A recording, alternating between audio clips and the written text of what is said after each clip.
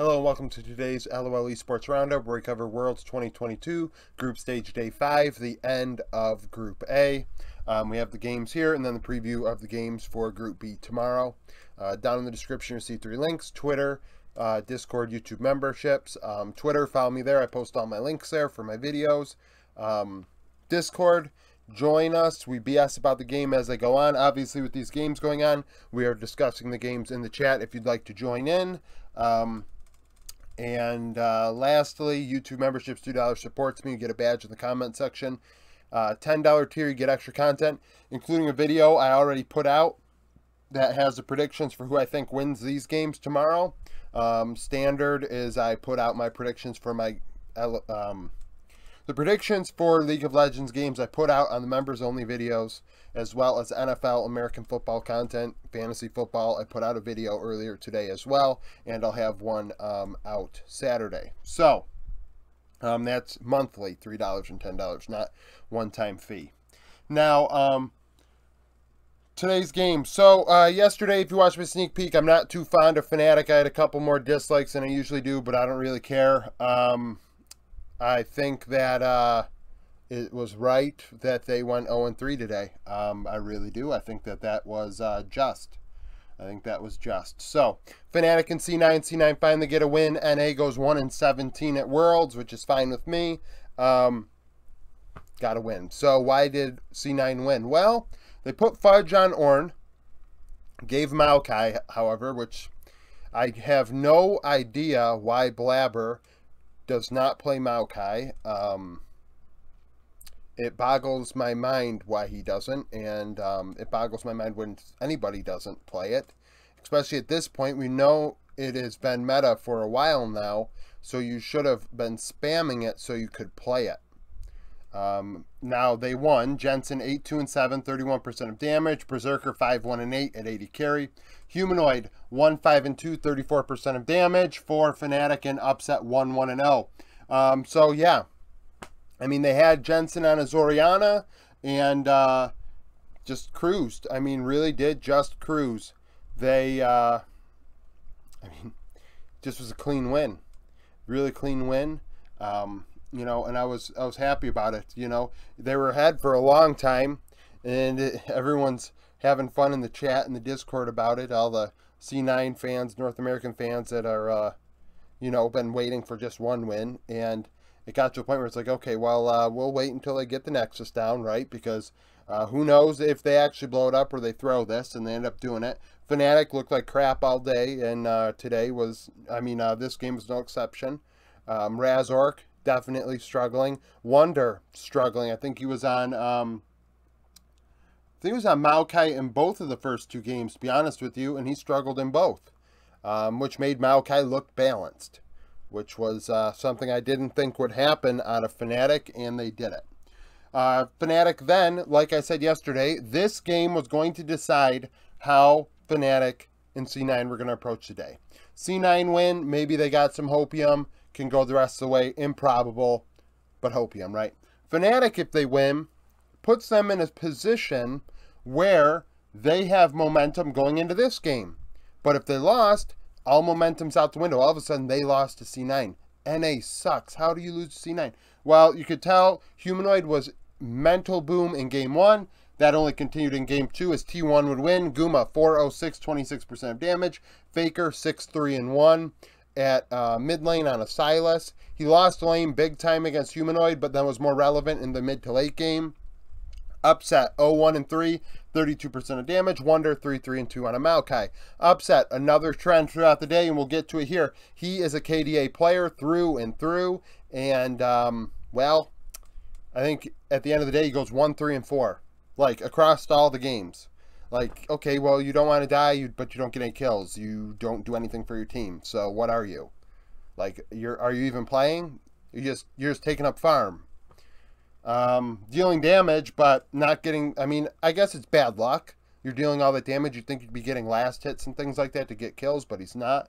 Um, but humanoid in the mid to late game not as effective, and uh, well, they lost. You know, Faker playing good, Guma playing good. Keria on the Yuumi in this one, I believe, played very, very well, if I recall correctly. Um, Keria had a great day. If you, I think all three of his, honestly, um, between these two games, I, I wouldn't be shocked if he went like 1 1 and 34. I think that might be right. Honestly, between the three games, he might have went like 3 1 and 42. Keria proving that he's uh, second best player in the world behind Chovy. Um, just fabulous performance out of T1 as they close it out today. Um, C9 and EDG, C9 needed this, and despite learning if we put Fudge on a tank top, we have a chance, they gave him Aatrox in this one. And by giving him Aatrox in that game, Flandre played Fiora. Viper, 805, 30% of damage. Scout, 605 in mid. Jensen, 03 and 1, 41% of damage in mid lane. Zven, 1, 7 and 0. If you're in the player pool in Discord, Zven definitely right now has the least amount of points out of anybody. And by that, I mean he has like negative 13 and a half or something. Like, absolutely awful. Um, he fed his face off. I think he had a Renata in this one. Yeah, or you have Renata in that one? No, it was this one because then we asked for, we were joking about a pause. It was that one. Just like, come on. Come on, man. Like, and then Viktor in mid for Jensen. Viktor has sucked all tournament long. I'm pretty sure Viktor, def I mean, I'm not pretty sure. I would almost bet it has a negative win rate at Worlds. Like, that champion stinks. Now, EDG just outclassed him. Viper, class of his own. Scout, much better. JJ did work. Flandre won his lane. Uh, Meiko still looks very good. So C9 lose a game. We expected them really to lose, but it would have been nice if they won. Fnatic and EDG. So now EDG coming off of a win like this. Fnatic um, in a position now where, um, well, their backs are against the wall, right? Uh, EDG win. Viper 3-1-14, 36% of damage. Um, JJ 7 0 10 on a Sejuani. Um, most fed player in the game through the laning phase. He had more gold than anybody on a Sejuani in the jungle, which is pretty damn crazy to think about. Humanoid 020, 35% of damage, I believe, on a Viktor mid. Viktor. Upset 01 and 1. Once again, upset, not wanting to play to die and risk anything for his team. So he ends up um, going home going home. And I don't really know if you can go home after going one, three, and four and say to yourself, I did everything I could. Um, I really don't, but um, that is what it is. Now with EDG, won their two games handily. Um, definitely bot lane doing great work. I mean, EDG all around looking very good. Um, and Fnatic just not, right? Um, really just kind of short work for that game. This game, I honest to God, I'll be honest with you, I barely watched this game. Why? It had no no bearing at all. It didn't matter. Um, so if T1 lost this game, they win this game, they still won tiebreaker 2-0 over, over EDG if both ended up 4 and 2 if T1 lost this won this. So, if they lose and win, and win, they win the tiebreaker. If they win this and then EDG win this, there is a um,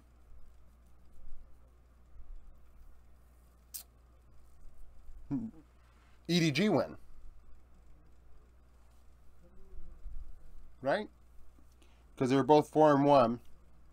Both 4 and 1. If they were 3 and 2, they win. They win the tiebreaker 2 0. If they were to um, win this and go up 4 1 and EDG are 4 1, EDG win 4 it's not even worth the time to really do mental gymnastics. T1 and C9, this game didn't matter. C9 literally um, joke draft. They had uh, Blabber on Bel'Veth. I don't know why he waited till now. Maybe he was inting and didn't care about Bel'Veth. Um, although I would argue Bel'Veth was better than Xin Zhao. Now, C9 also, Zven played Heimerdinger. Well, that might have been the best champ he's played all, all the tournament. Uh, Zeus, 355, 31% of damage on a Jace further proving Jace is actually not very good right now. Guma 1003. So Guma, great game. Jensen 520, 30% of damage. on a Akali, and then uh, Blabber 2 4 and 4. But like I said, I didn't really watch this game because it really didn't matter all that much in the grand scheme of things. Um, with the way C9 drafted, they took it as a joke, so I did as well. Um, if you're new to the channel, when teams int, like literally, like when the game doesn't matter, I'm not giving it the time of day. EDG and T1, this game really mattered, both for 4 and 1. Um, so, actually, yeah, it did. This game didn't matter if T1 needs to win this game no matter what. So, yeah, so that game didn't matter. Um, T1 win. Um, they crushed them. Just like how EDG beat, uh, well, no, Fnatic beat T1, didn't they? Yeah, of course, it's what we've been going through, right? So T1 just beat the crap out of EDG. Zeus 10, 2, and 3 on a Gangplank. Keria 0, 1, and 19 on a Soraka. This was a big pick. Viper 242 on a Felio, Scout 364 on a Lissandra. The Lissandra is exactly why this was a big pick. The Soraka stops Lissandra from being effective. It is a counter. Um, all throughout the year, we've been I've been seeing Lissandras. MSI saw Lissandras. Nobody, I mean, I know the meta has shifted, but I, I really don't recall. I mean, obviously, I don't edit these videos, and I don't remember every patch. And I'm sure somebody in the comments is going to say, well, Soraka was buffed at this time, so that changes things and this and that. And it's like, well, I'm not going to have that offhand. But if Soraka hasn't been touched between then and now, it's weird that nobody was willing to at least try it. Um, because it is such a such a counter to Lissandra.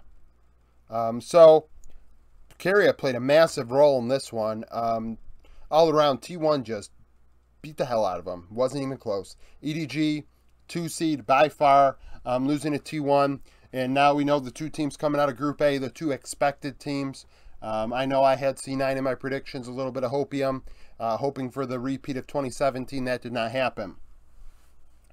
Preview for tomorrow, Group B, G2 EG start us off. Uh, G2 won the first time. Broken Blade 6 0 6 on a Fiora. Jankos versus Inspired is what I want to watch. You'll see Inspired's listed on all three EG games in here. That's because if Inspired does not 1v9 and play the best day of League of Legends of his life, EG are not going to get out of this group. He needs to actually play like he is the best player in the world. So, um, Jankos' job is to make that not happen. So, that's pretty self explanatory. Um, and I mean, it'd be nice if EG won a game against G2 in 2022, but I mean, at this point, it doesn't really matter. Um, EG and JDG, so just like this day, we got to think about this here. So, G2, they need this win. G2 are a legitimate threat to getting out of the group, right? Um, by comparison to EG. Um, so, G2 need that game. If G2 don't get that game, they're rolling into this game after losing that one. Damn, feeling like those guys did. Now, there's a little bit of a break, so maybe they'll feel a little bit better. Maybe they can, you know, brush it off a bit more. But EG win it. EG all of a sudden are going into the JDG game with Hopium. JDG won the last time. Kanavi 12 1 and 9 on a Viego. Inspired versus Kanavi. Like I said, Inspired has to play his ass off. Kanavi, on the other hand, a very, very good player. The best jungler in the world, in my opinion, coming into this tournament, and he's playing like it. He is cracked. 369 in top lane. Uh, Yagao in mid lane over JoJo. Bot lane is JDG favored. This is all JDG favored. Um, Damwon and G2. Damwon 1. Um, Showmaker 804 in mid. Showmaker and Caps. The last time they played, I think this was the highlighted matchup. Um, obviously, Caps is G2's best player. So he has to be the one to take over in this one. He's the one that's even close to his, um, you know, um, opposition and role. Um, there, you can definitely argue that Caps at times can play better than Showmaker. So um, that's what they're going to need in this one. Uh, Jankos really doesn't have it in him over Canyon unless Canyon ints again, like he did on Maokai. Um, top lane, I mean, Nuguri always has a potential to int, but um, I don't know if he ints hard enough for Broken Blade to beat him. Um, G2 and JDG after that. JDG won last time. Hope 5 1 and 8. Targamas and Missing is the matchup to watch. Targamas has to keep Flakked alive to keep Hope from getting ahead. Um, it's kind of like one of those things. If if Targamas can play well enough to keep Flakked ahead, that will mean that Hope and Missing aren't getting ahead. And um, maybe they have a chance in bot lane. Um, Caps versus Yagao. Uh, Caps, just like how he can outplay Showmaker at times, I think he's definitely capable of outplaying Yagao. So uh, that is a thing. However, Jankos versus uh, Kanavi, I think that you have to ban out Kanavi's carry, carry options and uh, hope for the best because I don't think Jankos really doesn't have uh, that carry in him that Kanavi has and Inspired for that matter. Yes, Jankos has beaten Inspired literally every best of one, but um, we do probably really, I mean, it's not even probably, you see that Inspired and Jankos are not the same kind of jungler. Um, EG and Damwon, um, there's potential for EG um, int in this one if they're 0 and 5 um, or 1 and 4 and out of it. Um, the fact of the matter is, uh, they might just draft for fun. They might have an NA buff after being uh, eliminated. That's a thing, too, where teams sometimes play better when they have nothing to play for. Damwon 1, Nuguri 6 2 and 2. I will say that out of the three games so far for EG, their game against Damwon was their best one. They put Nuguri in a hole. They clearly had a um, plan, and they were executing on it. Now, in the mid to late game, the plan fell apart and they lost. But compared to the other two games, they played a lot better in that one. Um, inspired in Canyon. Maybe Canyon plays Maokai again and plays terribly. JDG and Damwon to finish us off. Just like this game, this might have a lot of implications. Both teams might be 4 and 1 going into it. It might matter a lot, right? JDG won the first time they played. Uh, Hope 9 0 and 7. 369 in Nuguri is the matchup. Now, um, last time they played, I blame it mostly on Canyon, his Maokai. Uh, I looked back through the game. He had, out of 13 ultimates, 2 kills and 1 50-50 smite on his 13 Maokai ultimates, which is pretty damn awful when you think about how potent that ultimate is. So that's a combination of him using it at poor times and the team not being coordinated around it. So, um, if that doesn't happen again, I think Damwon have a really good chance at winning this game. I think it is a toss-up. Um, now, my matchup to watch, 369 and Nuguri. 369, obviously a better player than Nuguri, but I think Nuguri can keep up with them um, on his best day. So Nuguri has to play well, pretty much. Nuguri cannot int this game away.